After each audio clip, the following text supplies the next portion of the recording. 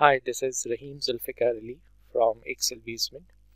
In this video tutorial, we are starting a new learning series that is for getting started with Python in Microsoft Excel. So for all of you who are using Python as in a Jupyter notebook, uh, now you know that Python in Excel is also available with Excel 365 beta version. So it will be an exciting course. Uh, the series of the videos will be uploaded on my channel Excel Basement. So do subscribe. Let's start in this first video how we get start and do the next level data analysis. Either you belong to any organization or any department, everyone has its their data sets good and easy way to do analysis in Microsoft Excel. So now let's get started. First, I will tell you that how to get the Python group in the formulas tab. It's very easy if you are using Excel 365. So make sure you check your account. So you can click on file tab, which is on top left side of this application. Then go down and you can see account here. So click on account now you can see that I have purchased this uh, Office 365 subscription product on my live.com ID. Uh, this is written here Microsoft 365 and I am using uh, Microsoft 365 Insider beta channel. Okay, there are a couple of updates are also there and I need to um, install them as well. So this is the first thing. So when you update it, uh, you have to go to formulas tab where you will find the Python group and there are a couple of options available here okay?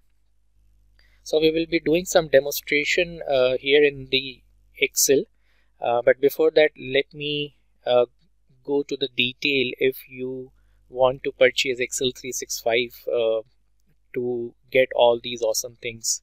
So if you go to my channel uh, that is excel basement you will find a video um, which is approximately for 5 minutes. Step by step learn how to purchase Microsoft Office 365 subscription.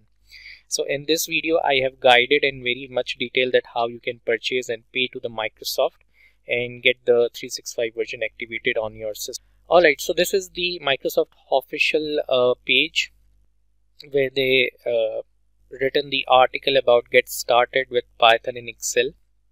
And it's written that Python in Excel is currently in preview and it's subject to change based on feedback. To use this feature, join the Microsoft 365 Insider program and choose the beta channel insider level. Okay. And once you have this particular uh, version, you can go to formulas tab as I have guided you earlier. So you will find this Python group uh, there. So to use the Python, you have to write equals to py in order to enable and write the code related to the Python. Um, they have written the article in August 2023 announcing Python in Excel next level data analysis for all. So either you are an accountant, either you are an auditor, either you belongs to sales department, HR, or or any other important uh, department of your organization, um, you can do the next level analysis within Excel. So all you need is to activate this your version and you can start writing the Python code by equals to py in your Excel cell following by the Python code. So you can see the demonstration is being showed here.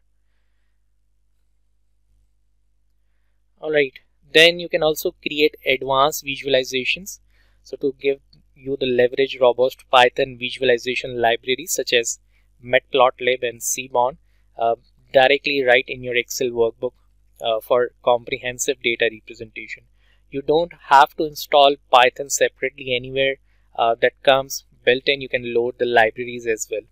You can also accomplish uh, deep statistical analysis as well as you can see here in the demonstration as well.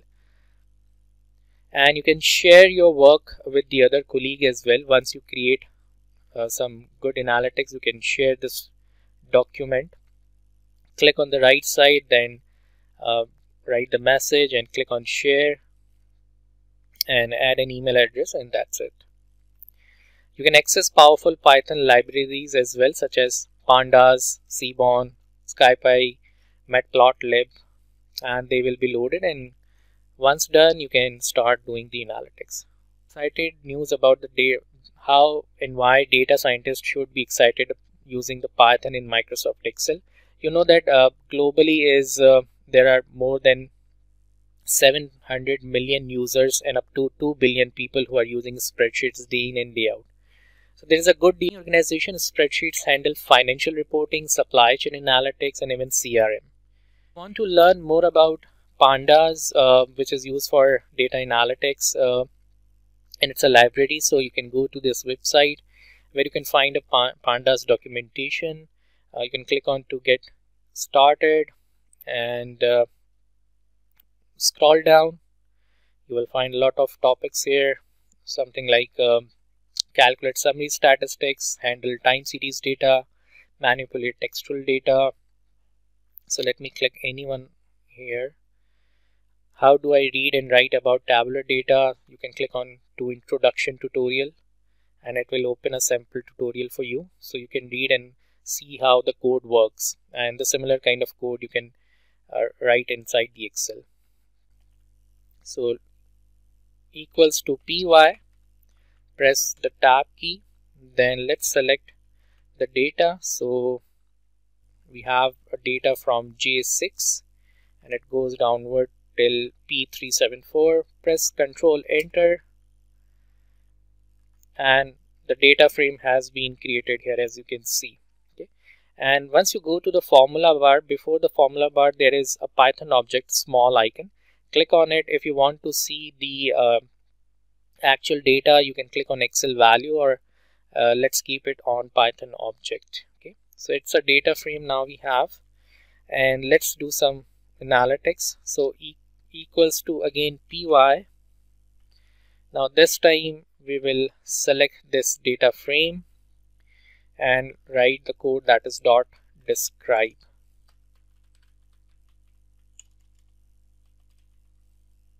Bracket open bracket close. These are the round brackets. Now to execute we will not press enter enter enter because it will insert a new line uh, within this uh, cell. So to execute we'll press control enter. And now we want to see it as a value. So we will go to this formula bar and say excel value and that's it. We got our based on our data set the numeric columns quantity and revenue as you can see here. Uh, we got their count mean standard deviation minimum numbers. And we can also do some changes here. Let's say we want uh, based on a certain column. So let's add in a square brackets let's say by payment type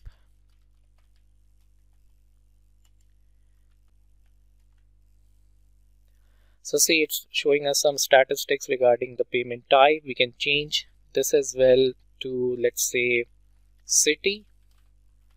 Press control enter. That's it right? Uh, then we can run another command equals to py. Press the tab key. Now this time we will use a group by command. So let's first pick the data frame. Dot group by city and dot sum round bracket open and close and press control enter. Now we want to see as a data value so we'll click on it excel value and that's it we got it. The numbers city wise let's select these numbers make uh, a good formatting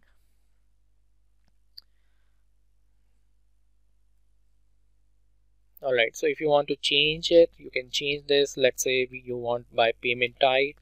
So instead of city you can write payment type and press control enter. And that's it right? So this is how we have started writing some Python codes um, in Microsoft Excel. Uh, in the next tutorial, I will be bringing some more good analytics, how to do on large data sets or multiple tables